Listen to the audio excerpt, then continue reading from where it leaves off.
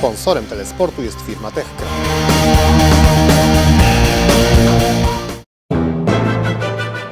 Telesport oglądacie dzięki Centrum Handlowemu Manhattan w Lesznie.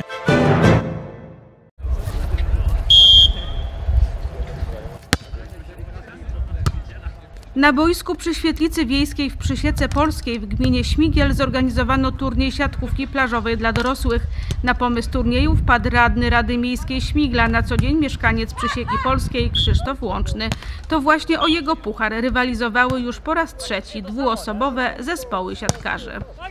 integrować trzeba nie tylko mieszkańców z samej wioski, oj, przepraszam, ale i też yy, no, okolicznych wiosek, czy tam miejscowości większych miast i tak dalej. nie? No, dobrze by było wiadomo, żeby na tej mapie sportu znalazła się też Przysieka Polska. Z pomocą w organizacji turnieju przyszedł też sołtys Przysieki Polskiej Jan Janicki. Nic dziwnego, sport jest także jego pasją.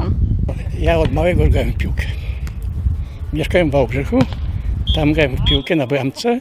Przyjechałem z Wałbrzycha tu do Przysieki i grałem i w Pogoni Śmigel i w Czaczu. I od tej pory interesuję się sportem bez przerwy. Czy to transmisja, czy nie, w telewizji patrzę organizuję, jak mogę, organizuję tu te mecze siatkówki i graję.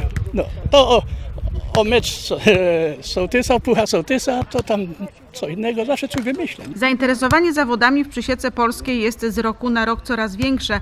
W trzecim turnieju wystartowało 10 drużyn. Podzielono je na dwie grupy, w których zespoły grały po jednym secie, każdy z każdym. W fazie półfinałowej zawodnicy rozgrywali dwa sety.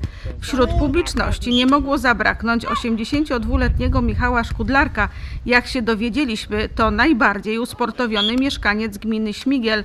Pan Michał wybiegał kilkadziesiąt tysięcy kilometrów w Polsce i poza granicami, między innymi w Atenach i Brukseli.